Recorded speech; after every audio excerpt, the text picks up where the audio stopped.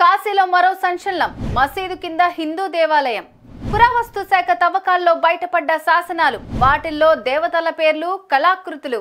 కీళ్ళ నొప్పులు ఊపిరితిత్తుల సమస్యలతో బాధపడుతున్నారా RNC super specialty hospital Chintal Qutbullapur. కొన్ని వందల ఏళ్ళ కిందటి సంగతి ముస్లిం పాలకులు భారతదేశాన్ని పరిపాలిస్తున్న రోజులవి. ఆ రోజుల్లో ఒక ఆలయం నిర్మించాలన్నా లేదంటే ఓ మసీదు కట్టుకోవాలన్నా కావాల్సినంత స్థలం పైసా ఖర్చు పెట్టకుండా దొరికే పరిస్థితి. అలాంటి పరిస్థితుల్లో కూడా మహమ్మదీయ పాలకులు హైందవ ఆలయాలను కూలగొట్టేవారు. పంతానికి పోయి అక్కడే మసీదు కట్టేవారు.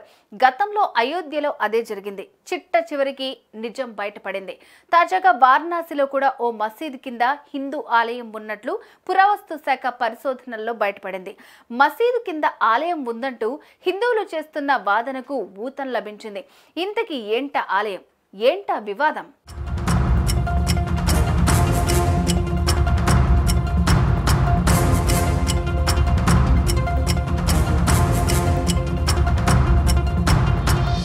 వారణాసిలోని కాశీ విశ్వేశ్వరుడి ఆలయం పక్కనే జ్ఞానవాపి పేరుతో ఓ మసీదు ఉంది. ఇది పదహారు వందల అరవై తొమ్మిదిలో ఔరంగజేబు పరిపాలన కాలంలో నిర్మాణమైన మసీదుగా చరిత్ర చెబుతోంది.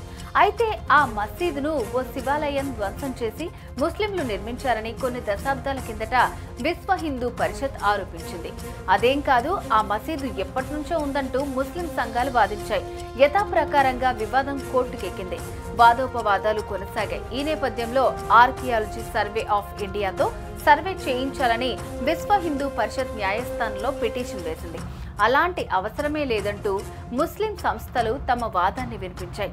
ఇరు వాదనలు విన్న న్యాయస్థానం గతేడాది జూలై ఇరవై ఒకటిన ఆ మసీదులో పరిస్థితులను పరిశీలించి ఓ నివేదిక ఇవ్వాలంటూ ఆదేశించింది. ఆ నివేదిక మీద ఆధారపడి తీర్పిచ్చేందుకు నిర్ణయించింది. కోర్టు ఆదేశాల నేపథ్యంలో ఏఎస్ఐ సర్వే నిర్వహించింది. అత్యంత కూలంకషంగా జరిగిన ఆ సర్వేలో సంచలనం కలిగించే వాస్తవాలు బయటపడ్డాయి.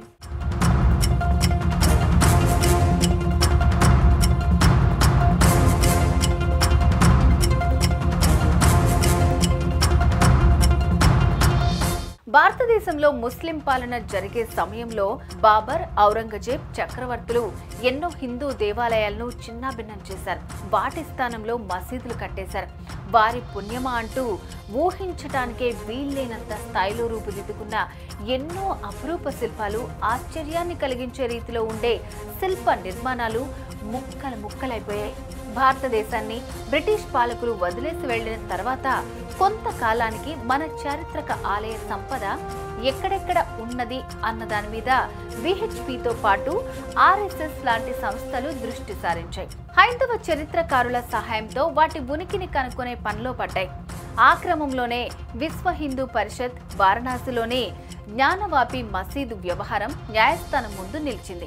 ఆర్కియాలజీ డిపార్ట్మెంట్ ఓ నివేదిక తయారు చేసింది. ఆ నివేదికను ఈ ఆలయానికి సంబంధించి కోర్టులో కేసులు వేసిన ఇరు వర్గాల కక్షిదారులకు కూడా ఇవ్వాలంటూ కోర్టు చెప్పడంతో ఎనిమిది వందల ముప్పై తొమ్మిది పేజీల ఆ నివేదిక ఇప్పుడు అటు హిందువులు ఇటు ముస్లిం కక్షిదారులకు చేరింది. ఇంతకీ ఆ నివేదికలో ఏముంది?